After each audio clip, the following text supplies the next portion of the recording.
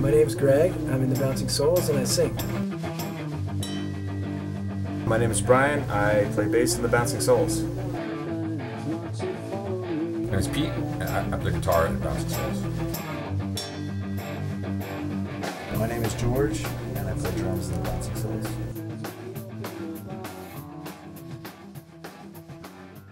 One thing that we, we had growing up on the East Coast was um, all the New York hardcore bands were just r- right in our backyard, pretty much. So we had all of that stuff. A lot of those bands didn't get off the East Coast, you know. Like we grew up with bands like Token Entry, for example. Maybe they made it to California once, you know, but they were reg- they were like a regular fixture at CBGB's, and Yeah. so there was a lot, there was like that New York stuff that we grew up with. that Yeah. might have had you know. It, I think it definitely had an influence on our music.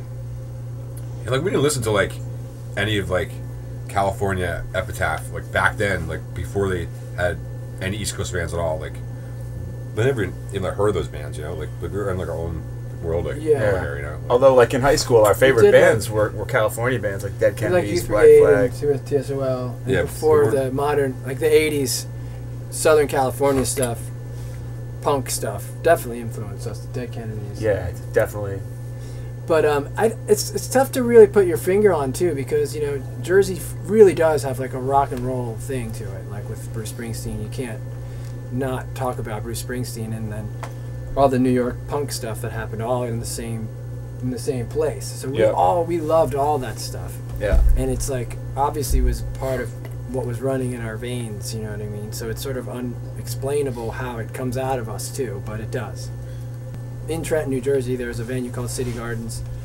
Who, you know, if you look at the the sh- sheets, the posters of all the shows they did, it was incredible. Who played there, like, um, in one week, you know, every during, band in the '80s, you know, it was like come to City Gardens. It was like, like- part of the. like a list would be like Green Day, the Ramones, Agnostic Front, Sick of It All, like all in the same week.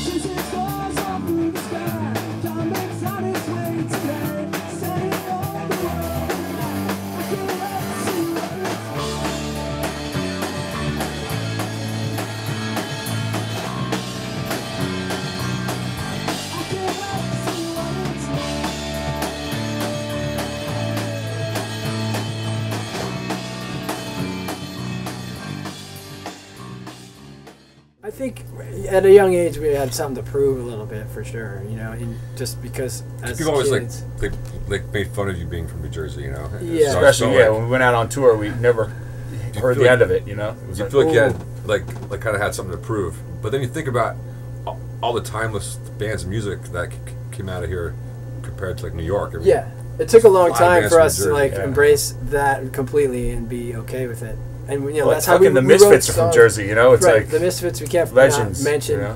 And then, but songs like East Coast "Fuck You" were were born from that kind of like feeling that, That- we that were was- yeah. like being like, no, like we're we're awesome, you know. Yeah, it was a reaction for sure to all that like ribbing we took, you know, on tour.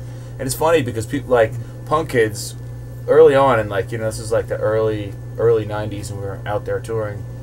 Punk kids were like trying to make fun of us by using Brinks, like Bruce Springsteen like that was a bad thing and we were like, "No, Bruce Springsteen, like fuck you." You know, like are you kidding? Yeah, You know? we just And I would just always be telling kids, no, it's not like Born in the USA. Like, listen to the first five records. Like, listen to his early stuff. It's, it's, it's so much glory in there. There's like some of the best songs ever written. It's, it's all rock and roll, you know. And anyway, and it's like yeah. the attitude, you know, makes it punk. I think punk rock is, is a little bit more stripped down to me than, than let's say for sure metal. Those are like opposite ends of the rock and roll spectrum in a way, you know. There's like a lot of virtuosity being important in metal. Um, and in the most thing, you know. simplistic way, I think, with music like metal or jazz, to me, there's more sometimes for your brain to process. There's just a lot more busyness, and then with rock and roll or like a chord, you know, three chord song with a simple beat, it's very almost there's more space in it. And so it's like it, it takes the, the energy from your head and it's less it's not so much intellectually driven you know? And it, it allows a lot more wide open room for music to come from the heart and to hit somebody right in the heart too you know? Mm-hmm. You don't have to like it's not like stimulating your intellect and whoa you know like which is- I listen to music on that level too and can totally enjoy it on that level. Yeah, as far as like a, a, a former metalhead, I feel like uh, metal kind of lives in fantasy and punk lives in reality. Yeah, it's more like street level You know, uh, thinking. You know, I think. Yeah, that's fair. one's not Or direct. The other, it's just. Yeah.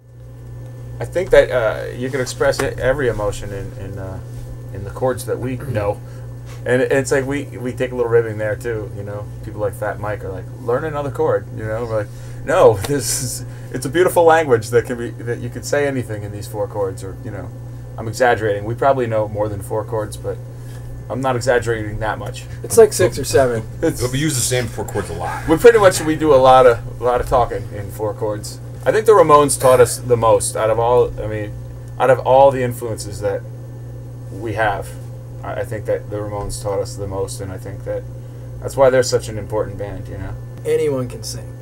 Everyone thinks they can't, and people who think they can't, I know they can because if you can talk, you can sing.